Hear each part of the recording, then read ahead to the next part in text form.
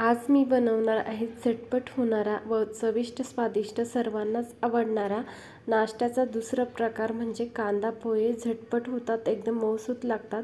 त्यासाठी गॅसवर एक कढई तापत ठेवली. त्यामध्ये मी चार चमचे तेल ॲड केलेलं आहेत.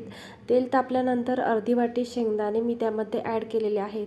आता हे शेंगदाणे मी व्यवस्थित छान असे खरपूस तळून घेणार आहेत. शेंगदाणे छान असे तळून घ्या जेणेकरून पोह्यांना खूप छान अशी चव लागते.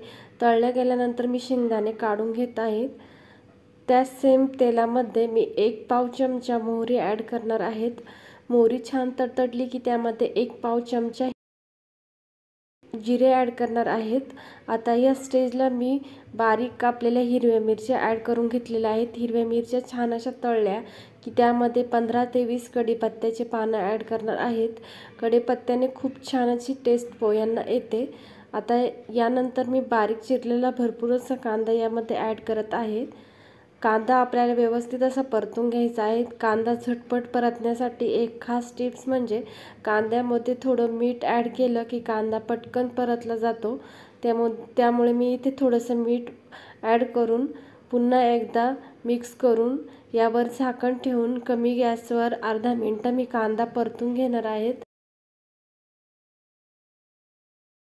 त्यावर मी पोहे भिजून घेतलेले आहेत. पोहे डायरेक्ट पाण्याखाली भिजून घेतलेले आहे. जेणेकरून ते मौसूत होतात. अशा पद्धतीने मोकळे करून घेत आहे मी हाताच्या साह्याने ते. अर्ध्या मिनटानंतर कांदा छान असा परतला गेलेला आहे. मी आता पुन्हा एकदा मिक्स करून घेणार आहे. या स्टेजला यामध्ये मी पाव चमचा हळद ॲड करत आहे. पुन्हा एकदा मिक्स करून घेते. आता हे सर्व परतलं गेलेलं आहेत. यामध्ये आपण जे काही शेंगदाणे घेतलेले होते काढून ठेवले मी तळून ते देखील यामध्ये ॲड करून घेणार आहे. तर मिक्स करून घेत आहे मी. आता जे काही पोहे घेतलेले आहेत जे भिजवून मी ते यामध्ये ॲड करून घेणार आहेत.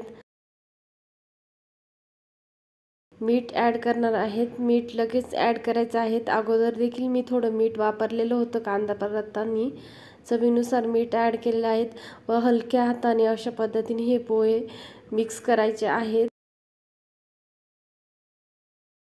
सर्व बाजूने एकत्र मिक्स करून घ्यायचे आहेत. अशा पद्धतीने सर्व पोहे मी मिक्स करून घेतलेले आहेत. मध्ये मी चवीनुसार थोडीशी साखर ॲड करत आहे.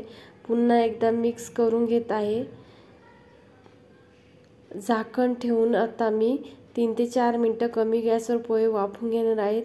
तीन ते चार मिनटानंतर तुम्ही इथे बघू शकता छान अशी पोह्याला वाफ आलेले आहेत. पुन्हा एकदा मिक्स करून घेऊयात. छान असे मऊसूत मोकळे असे पोहे तयार झालेले आहेत. यावर भरपूर अशी कोथिंबीर ॲड करूयात. कोथिंबीर छा शेवट ॲड केली तर खूप छान अशी टेस्ट लागते पोह्यांना.